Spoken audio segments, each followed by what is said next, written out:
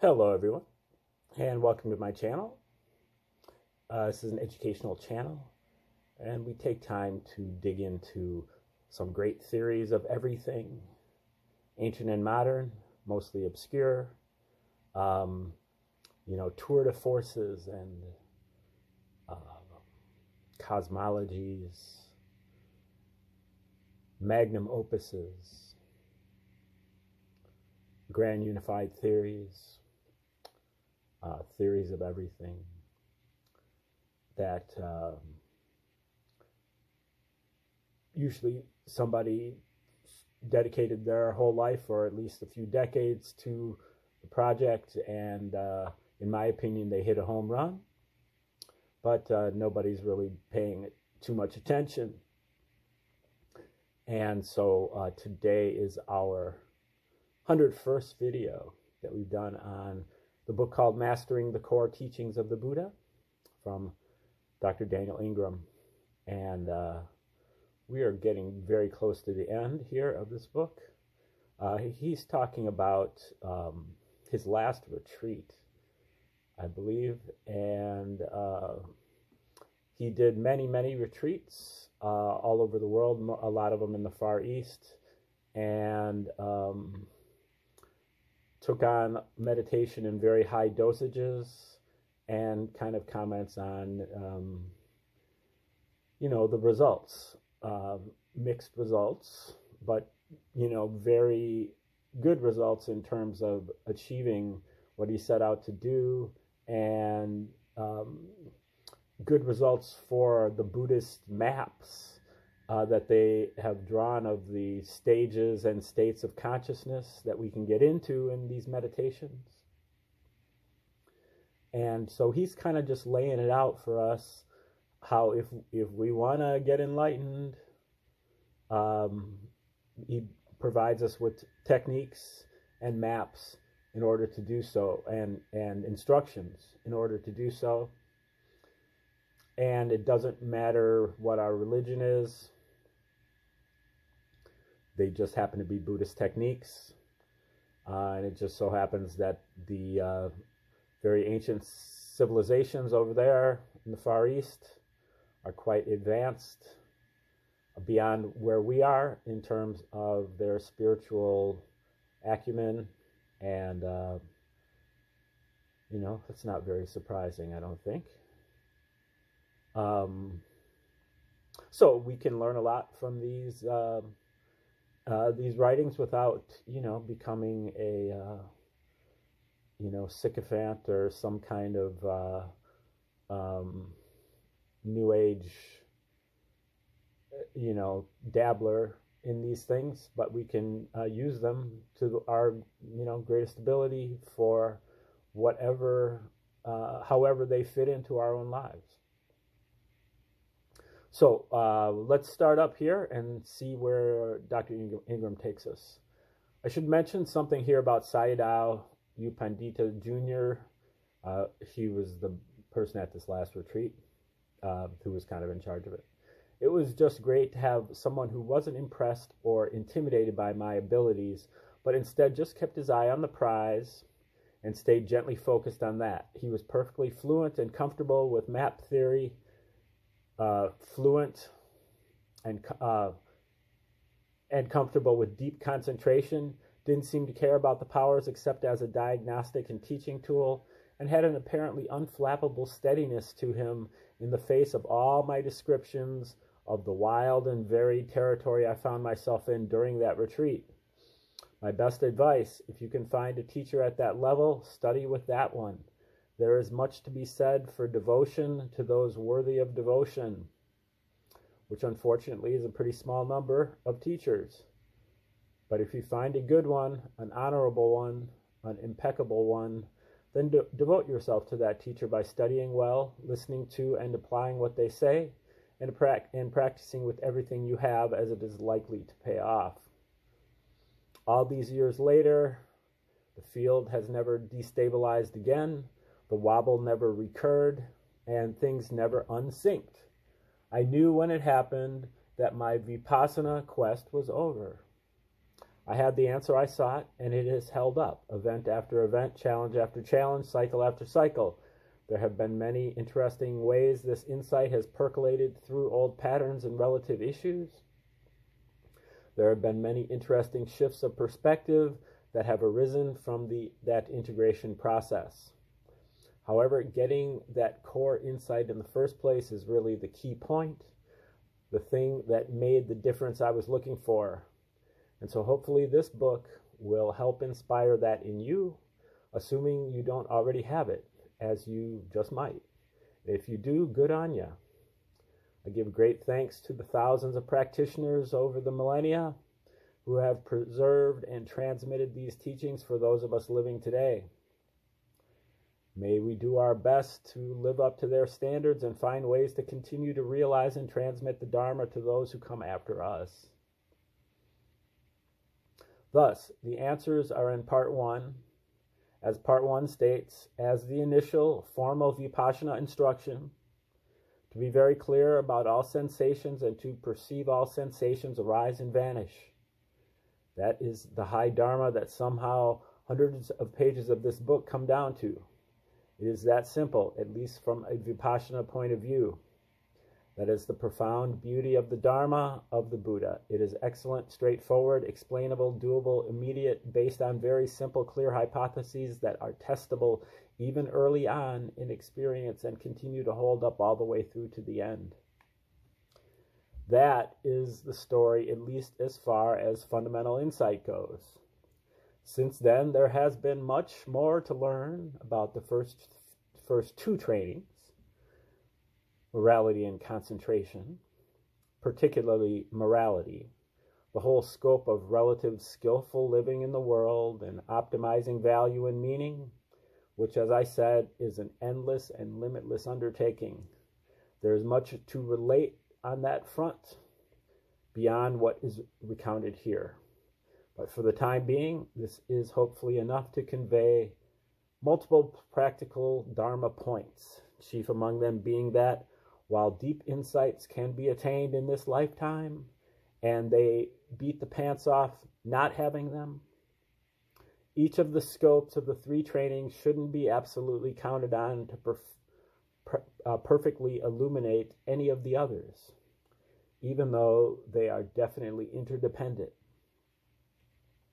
All three trainings of morality, concentration, and wisdom are worthy of deep attention, study, and practice throughout our mortal mammalian lives.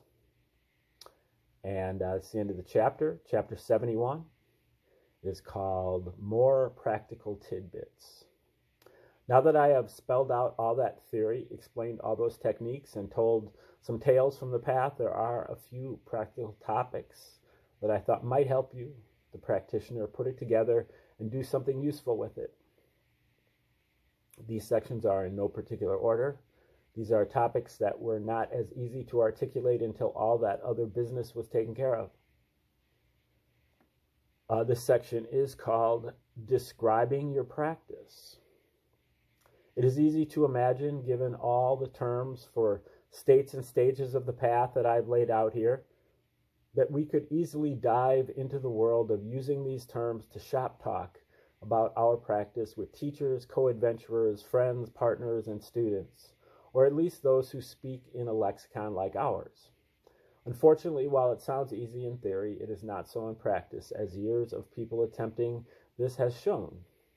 Even in online communities that attempt a strong degree of standardization of terminology, we have learned again and again that people will still use word, words in radically different ways, assign different terms to similar experiences, map their own and other people's practices very differently, and, in general, often di- diverge greatly from one another when talking about practice.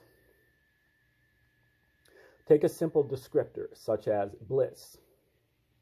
For some, a subtle, pleasant feeling may be bliss whereas another practitioner might not call something bliss until it is blowing their doors off.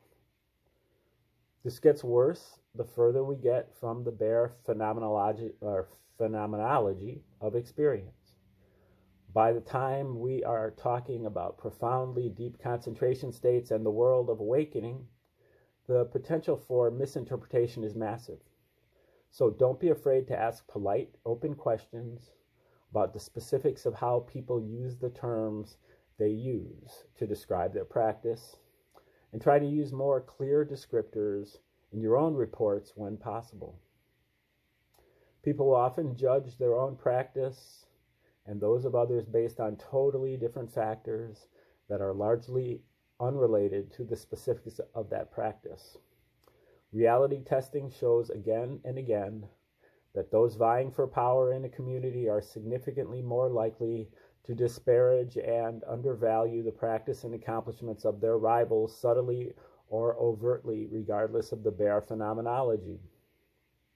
Similarly, those who wish to attract the friendship, approval, and even love of other practitioners are more likely to view their practice in a more favorable light, often leading to overstating attainments. Given that nearly everyone is subject to these sorts of distorting forces, assessment of relative levels of practice gets to be a very slippery business. Getting a straight read by a disinterested but skilled party is difficult, as there is almost always some degree of interest or agenda. Further, if we are talking with people who are not from our tradition or from a similar tradition that may diverge even subtly on the usage of the various key terms, as is common even within the major sects of Buddhism, then even the uh, then the problems get magnified since not only are people likely to be waging some subtle or overt battle for their preferred definition of the term, they are less likely to appreciate anyone who is not a part of their core tribe of practitioners, leading to the perennial phenomenon of very accomplished members of different schools of practice misjudging the actual attainments of those of another school. So, if you wish to have a deep, accurate, helpful, empowering communication about practice with any other practitioner, you are likely to have to first make sure the foundation of your relationship is on some mutually respectful ground. Take a lot of time to discuss and explain what any Dharma terms you use that you haven't already established as being well defined between you. And politely agree to disagree on terms about which you can't come to terms or to, to, to some mutually acceptable definition. Also, when describing your practice and asking about that of another, the more you can stick to basic phenomenology over the use of more specific Dharma terms, the better. This can often take substantial time to establish, so if you wish to attempt deep Dharma con- conversations that avoid the perennial quagmires of that Dharma terms can create, be willing to spend hours and hours in conversation. Beware of assuming when you use a more advanced summary term that they will understand what you mean.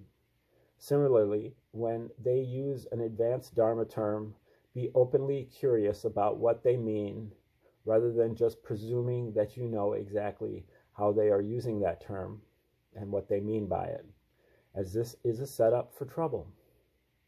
It is not that deep Dharma conversations can't happen in short periods of time. They can. But there is nothing like having the time, willingness, openness, inquisitiveness, and respect for other people that allows for deeper levels of dialogue to blossom and grow. Bringing this back to this book, if you go on a retreat or are part of a Dharma community, be careful with using terms found here or in any other source until you have explored them deeply in your own practice and mutually established with the people you are conversing with that you have come into a clear, explicit, and harmonious alignment regarding their meaning. Until that is mutually established, stick to very simple, straightforward, clear, ordinary, sensate terms to describe your practice. For example, don't say to a meditation teacher you don't know well, all right, just cranked it in the A&P and now plunging down into the third Vipassana jhana. That sort of thing will annoy most meditation teachers, even those used to this terminology, as the potential for misinterpreting experience and thus misapplying terms is so large, particularly if you do something such as going on a three month retreat at, say, Panditarama Lumbini. Don't be yet another one of those meditators who come, comes in spouting, spouting Dharma map terms, not following instructions, incessantly theorizing, quoting this or some other book to defend some intellectual Dharma theory point, and thus not grounding your mind in your sensate awareness and the true nature of experience again and again. Unfortunately, the first edition of this book created plenty of practitioners just like this.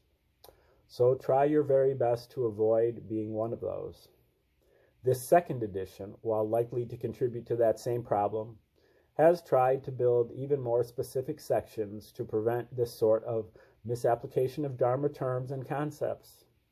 I cringe inside when I recall the number of stories I have heard about impatient, disrespectful meditators who went on retreat with competent teachers, failed to heed the teacher's skillful practice instructions, failed to trust in the process, and failed to let the meditation and the organic process development of positive mental qualities do the work of moving them along the path rather than trying to force it with map theory.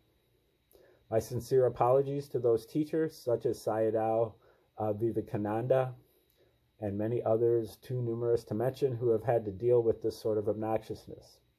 I ask you to do your best to help support the view that people can use maps responsibly by using them responsibly yourself. Otherwise, you just reinforce the arguments of teachers who keep people in the dark about them.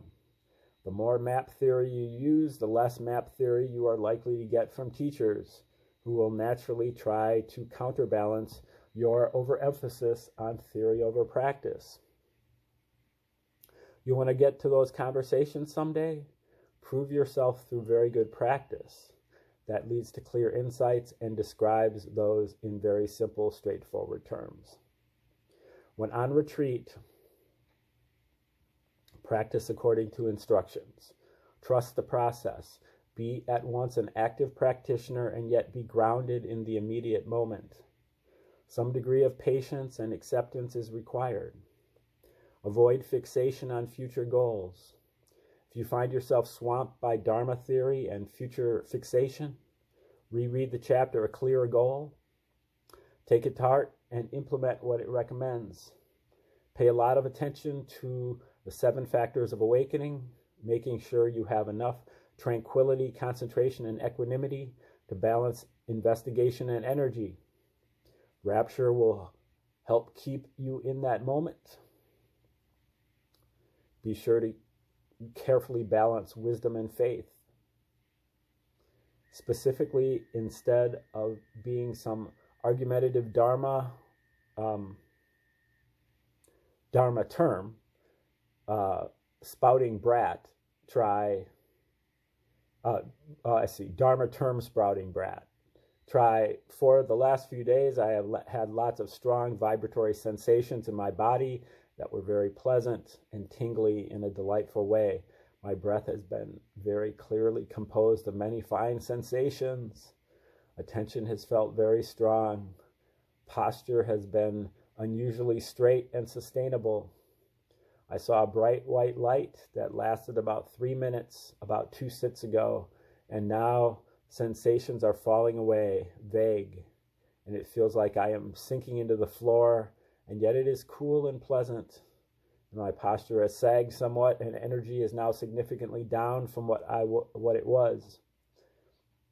This way of describing practice is likely to go over much better with your teacher until you have established between you both what more advanced Dharma terms mean and that you both know how to use them in a way that skillfully matches the other person's understanding of theory. Further, when talking with people from very different traditions, or those who are not Dharma practitioners or skilled in more technical language, simple descriptions of stages, will usually go over vastly better. than those laden with lots of fancy Dharma terms or advanced phenomenology, particularly when it comes to unusual experiences.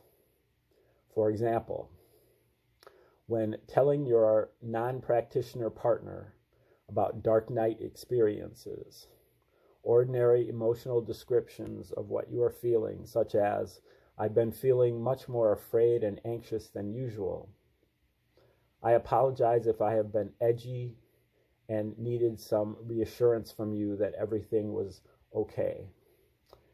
Is likely to go much better than I entered stage six, saw an array of strange demons in my visual field, noticed the shamanic drum pulse with an emphasis on endings, got really paranoid, and then had a strange, distorted vision of you in the arms of your ex partner.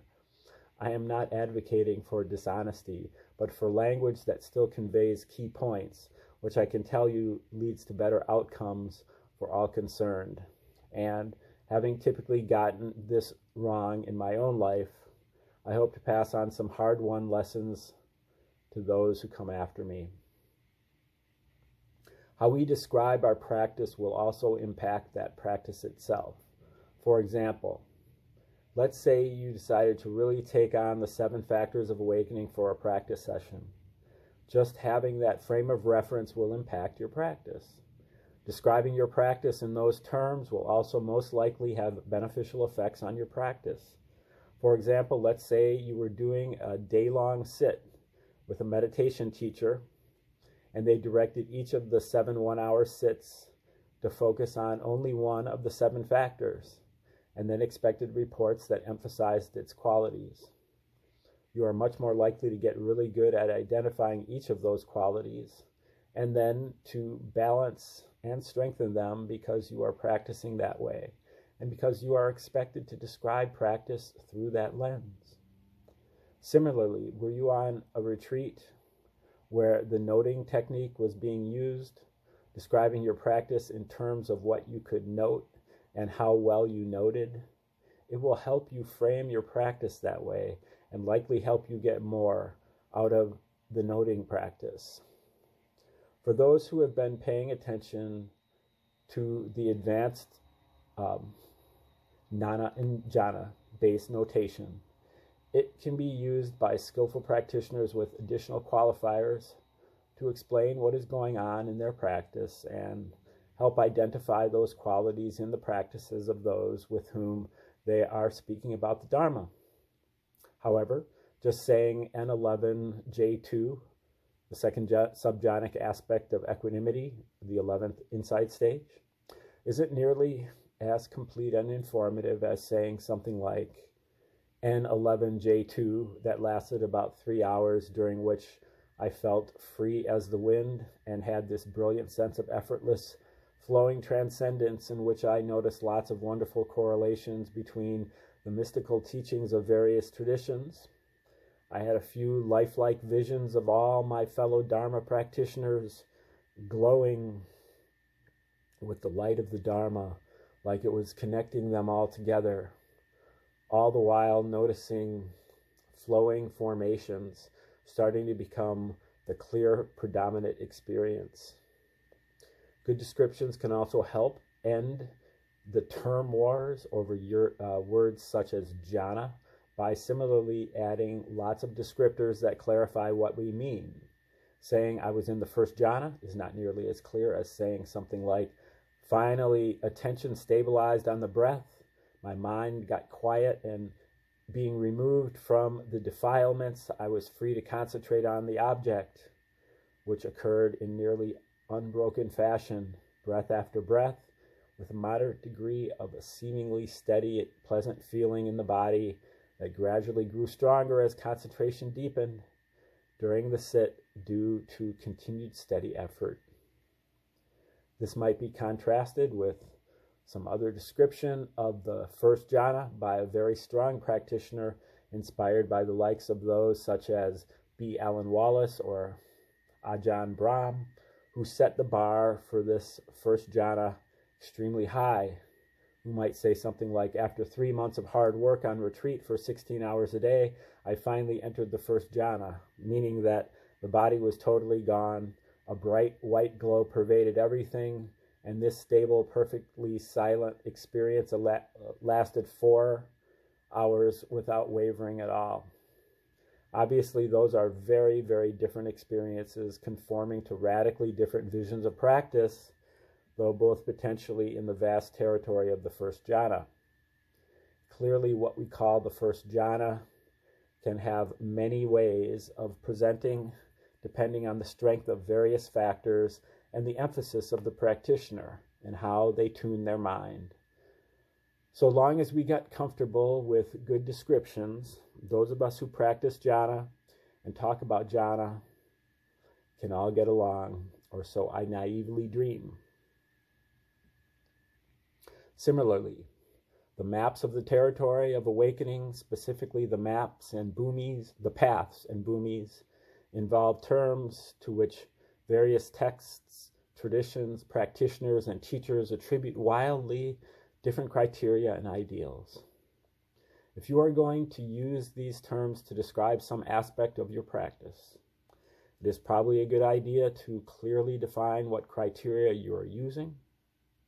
I go way out of my way to define as clearly as I can the real world performance testing and characteristics of the way I use those terms for various stages of practice, such as the perennially controversial term arhat.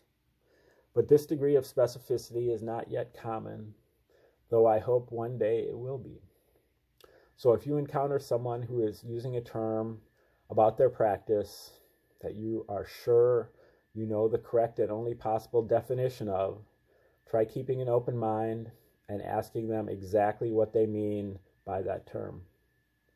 Language is a tool for communication, uh, to communicate ideas, and in this case, ideas to try to promote good practice in those hearing them.